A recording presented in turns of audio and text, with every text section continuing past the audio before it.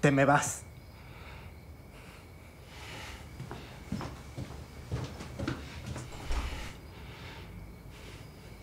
Te me vas. Y no regreses nunca. Tú no eres un hombre. No puedes ser mi hijo.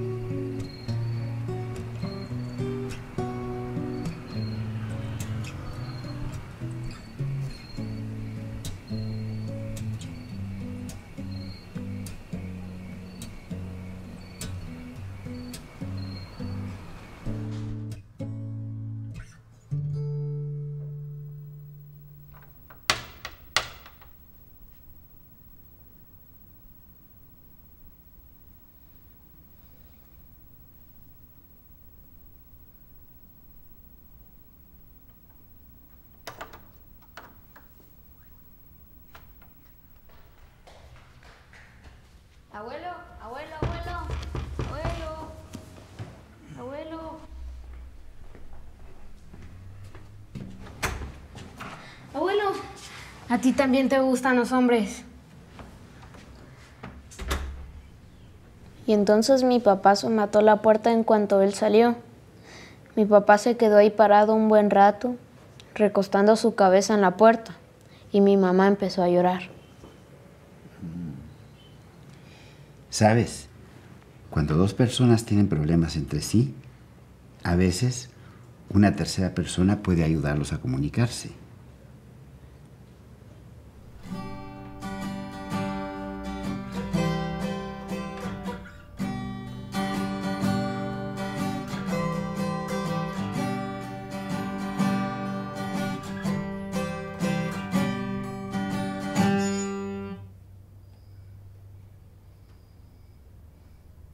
Tranquilo, todo va a estar bien.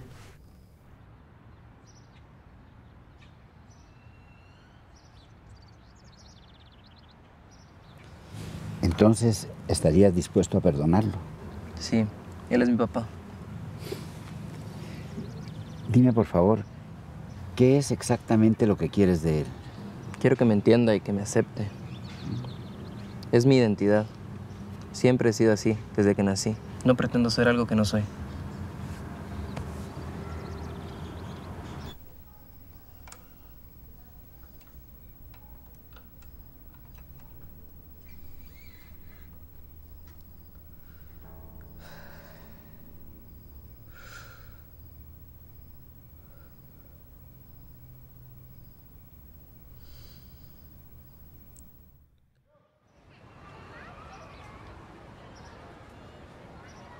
¿Te recuerdas que te traía a este parque cuando eras niño? Ese fue uno de los mejores momentos de mi vida. Alejandro, estoy preocupado por ti y por Pedro. Mi hijo no puede ser gay, de ninguna manera. Él solo está confundido, eso es todo. Siempre ha sido un excelente padre. Él se sintió por eso cómodo contándotelo. Él te quiere y confía en ti. Esto no es culpa de nadie, ni de él ni tuya. Pero, ¿por qué él escogió que quería ser gay? Es una locura. Tu hijo no escogió que quería ser gay, él es gay simplemente. Sabes que tengo 70 años y en toda mi vida he sabido que los gays son así naturalmente. Ellos no escogen ser una cosa o la otra. Puedo preguntarte algo. ¿Cuándo decidiste ser heterosexual? ¿Qué se supone que eso significa? A mí, obviamente, siempre me han gustado las mujeres. Pues eso es lo que tú eres. Por supuesto que sí. Tu hijo no escogió ser gay por estar confundido, como tú dices. Nadie se arriesgaría a la discriminación, humillación y daño físico solamente por estar confundido. A que lo echen de su casa. ¿O sí? Aquí hay alguien confundido y no es tu hijo precisamente.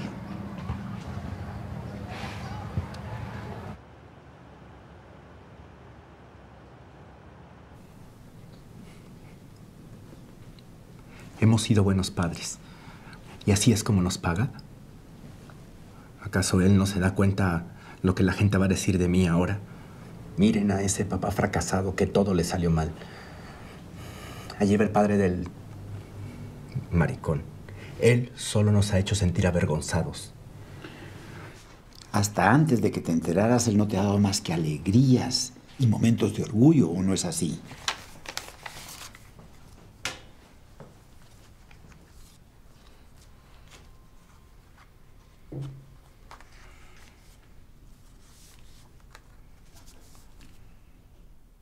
No puedo creer que tu miedo a lo que los demás piensen de ti opaque el amor que tú tienes por tu hijo.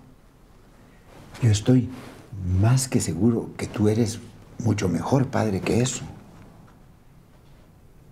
Tu hijo se tiene que enfrentar a ese estigma, a momentos de discriminación por muchos lados. Lo que él menos necesita es que vengan de ti. Este es el momento en que Él te necesita y tú te cerraste.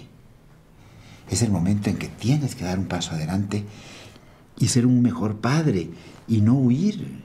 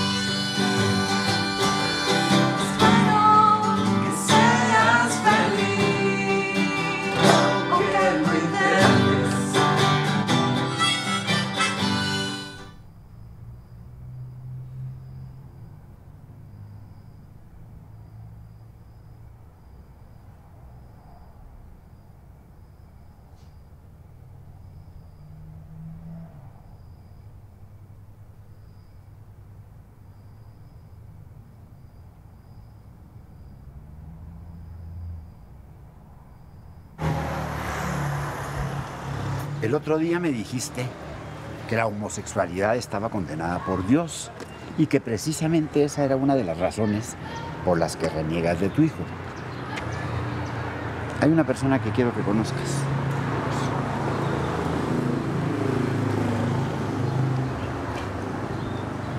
Recuerden que así como les digo cada domingo desde el púlpito, Dios es amoroso y tolerante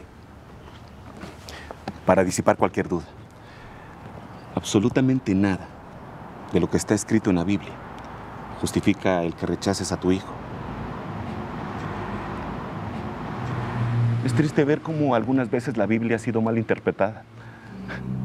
Las historias que algunas personas usan para justificar su rechazo a los homosexuales, como las de Sodoma y Gomorra, no son historias que hablan sobre lo malo que es ser gay. Son historias que hablan sobre lo malo que es ser poco hospitalario y violento. La Biblia no condena la idea de dos personas del mismo sexo teniendo una relación amorosa. Que no haya confusión. Absolutamente nada de lo que está escrito aquí en la Biblia justifica que rechaces a tu hijo. Al contrario, tu deber como buen padre es amarlo y aceptarlo tal y como él es.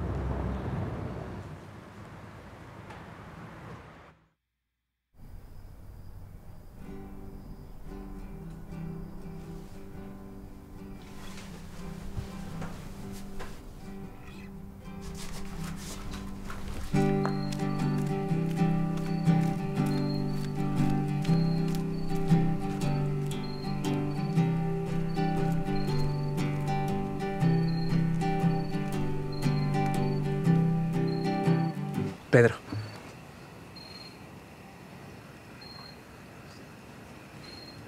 Lo siento.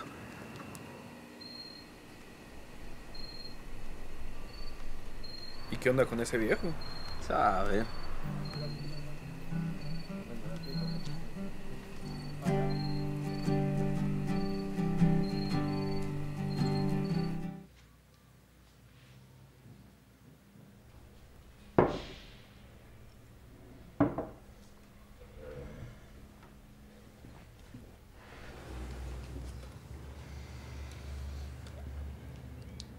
Dime, por favor, exactamente qué es lo que quieres de él.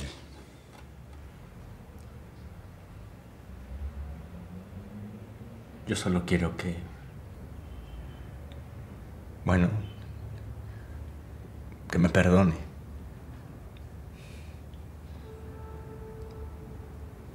Y que regrese a casa. Si logro reunirlos,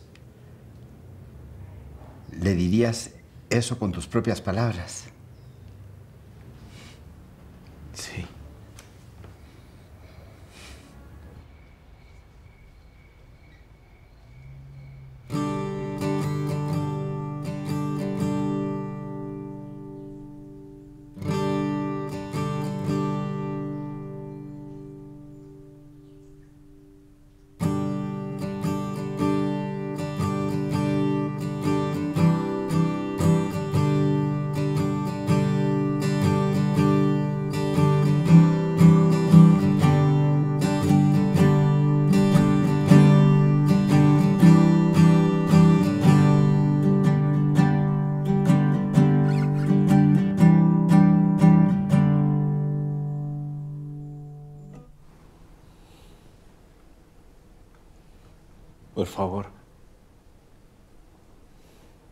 Por favor. Regresa a casa.